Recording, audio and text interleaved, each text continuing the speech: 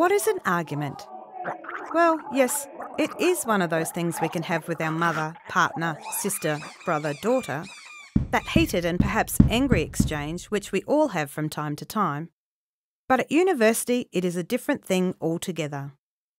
In this context, an argument is actually a set of reasons which are given in support of an idea or theory you might be writing about, usually in the form of an essay.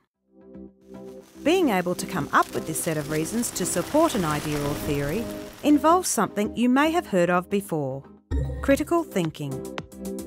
That is, the ability to sort out what is fact and what is fiction.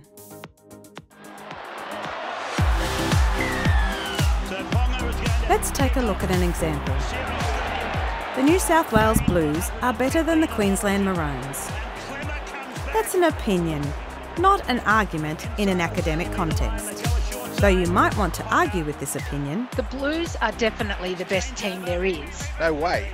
The Maroons have won more games and have much stronger players. No, they don't. Look at the last Origin match. The Blues walked all over them. here's how you might construct an academic argument about who is best.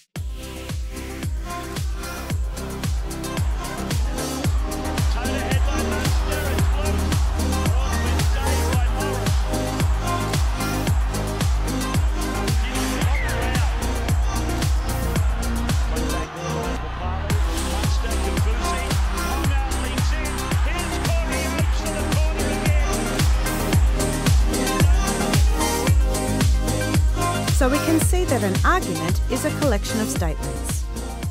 What is important to realise is that when we put these statements together, it allows us to make another statement, to draw a conclusion from these pieces of information. That is, that the Queensland Maroons have been more successful than the New South Wales Blues in winning the State of Origin series. So, how can we be sure that our argument is factual and not merely an opinion? Firstly, our argument has to be supported by the work of other people. These are our sources of information, which we use to prove what we say. At university, we use referencing to show that we have used others' work. So, sorting out what is going to be good information to use requires us to think critically. We have to evaluate the information and then make decisions about its value before we commit to using it in our work. But how do we actually do this? Well, we need to ask a lot of questions every time we find a source of information we think will help us argue in our essays. Whose work is this? This is important. If we think back to our statements about who is the best, the New South Wales Blues or the Queensland Maroons team, we might need to be cautious of information written by a team member or, for example, the Queensland Rugby League, as they may be biased. When was it written? Think about how old this work is. Is the information out of date? Who funded the work? Again, if we think of our conclusion that the Queensland Maroons are the most successful team in the State of Origin series, we might need to be cautious of information that supports this, which has been funded by the Queensland Rugby League.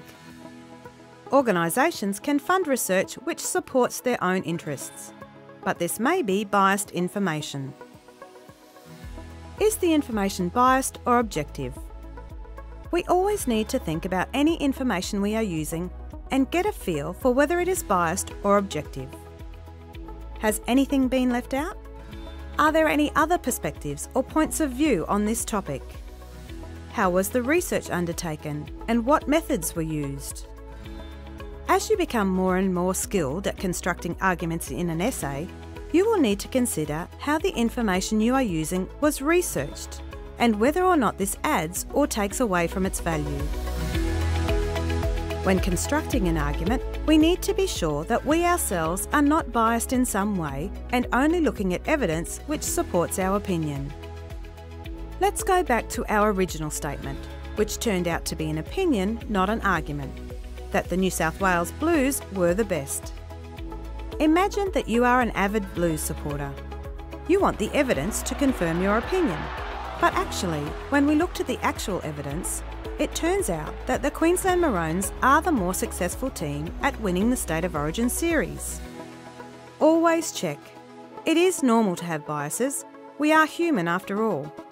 But we must learn not to let them take over in our academic work.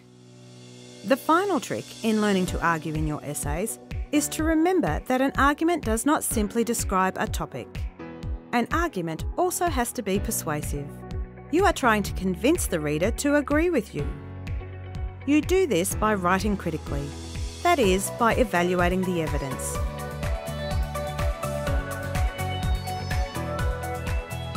Now it is time for you to have a go.